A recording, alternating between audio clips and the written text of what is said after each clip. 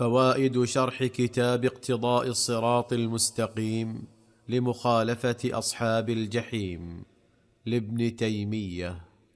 ثم إن الله سبحانه وتعالى بعدما ذكر صفات المنافقين ذكر صفات المؤمنين فقال والمؤمنون والمؤمنات. انظر إلى المقابلة. هؤلاء سماهم المنافقون المنافقين والمنافقات. ولم يقل المؤمنين والمؤمنات مع أنهم يتظاهرون بالإيمان لأن العبرة ليست بالمظاهر ولكن العبرة بالحقيقة فلم يعطهم اسم الإيمان وإنما أعطاهم اسم النفاق.